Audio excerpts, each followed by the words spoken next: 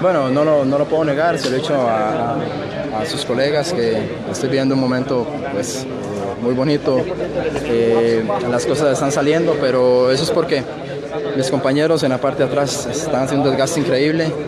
Eh, agradecerle a la afición, indudablemente que ese aliento que ellos nos dan, ese empuje, pues al final se convierte en nuestra fortaleza. Hemos entendido de que esto no es un jugador, es, es, es, por Costa Rica y, y, bueno, eso es de todo el grupo. Eh, así que contento por haber empezado con el pie derecho.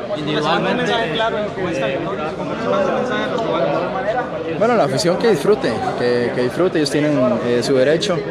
Intentamos de, darles un regalo para, Navidad, de, tener esa tranquilidad, de tener seis puntos, de no estar preocupados por lo que viene, sino de reafirmar y trabajar de las cosas que, que hemos hecho buenas. No volvernos locos porque apenas está empezando esto, queda mucho camino por recorrer. Bolaño, sabemos que la victoria es grupal, ¿verdad? Pero a nivel personal, gol allá y gol, gol acá. ¿Qué puedes decirnos? ¿Cómo te sentís en este momento?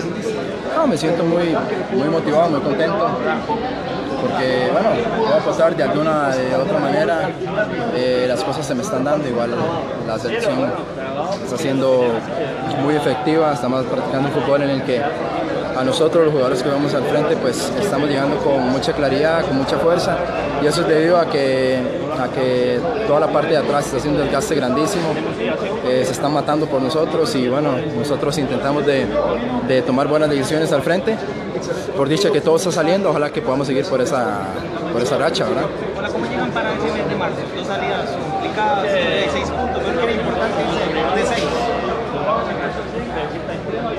Son, son salidas. Eh, agarramos tres puntos que, que, eran de visita, nos da, nos da pues esa tranquilidad de que podemos sumar afuera. Eh, todos los partidos van a ser muy cerrados, muy complicados. Eh, van a haber equipos más comprometidos que van a tener que tomar más riesgos, así que nosotros tenemos tiempo para, para estar tranquilos ahorita. Ellos van a tener que, que reacomodar cosas, nosotros tenemos que eh, seguir trabajando por las cosas buenas que, hicimos en estos dos partidos. Hay margen de que podemos mejorar, indudablemente sí.